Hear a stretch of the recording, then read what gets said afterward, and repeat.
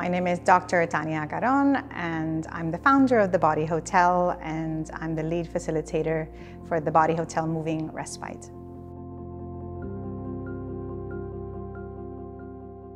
The Body Hotel is a dance movement psychotherapy social enterprise. So we focus on movement as a tool for well-being and particularly we have been focusing on employee well-being and working with the NHS and different health boards across Wales.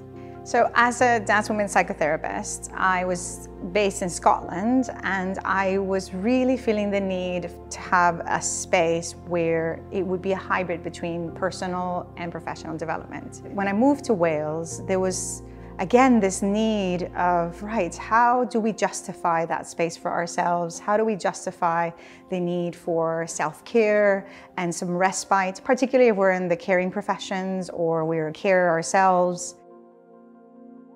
We've gotten funding from Arts Council Wales and Health Education and Improvement Wales to run a pilot program with HEIW employees and employees from the Wales NHS uh, health boards. So we ran this program for 12 weeks. We've had a series of intensives. We've been featured in different conferences.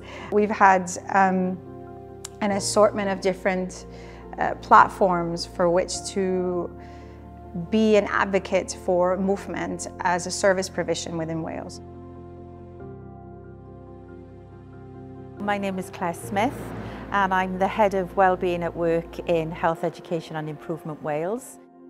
We consider the importance of well-being of the workforce as paramount and something in HEIW that is in one of our strategic aims. And we recognise that the workforce have different ways of looking after themselves. So that could be moving, it could be music, it could be exercise. And it's important that we recognise and allow our workforce to have access to these resources that will help them.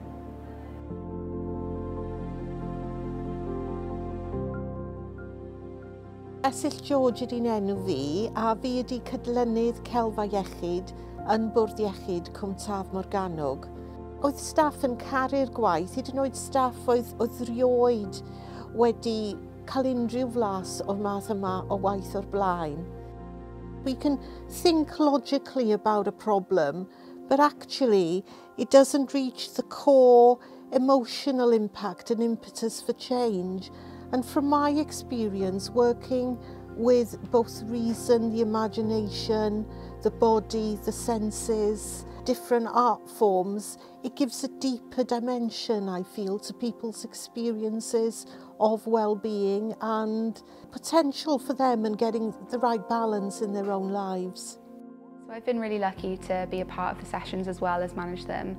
And I come from a music background personally rather than a dance background. So when I got involved with the company it was just a completely new experience for me. I was quite apprehensive, I was very self-conscious, I didn't want to kind of get up in front of people and dance, I thought that was going to be really scary. But actually because everyone's in the same boat it's such a non-judgmental space, a really safe space. And it's just another way now of coping with the stress in my schedule that I didn't know was there before. And it's so easy to just stick some music on and dance and it really does change kind of how you look at the world and how you look at self-care.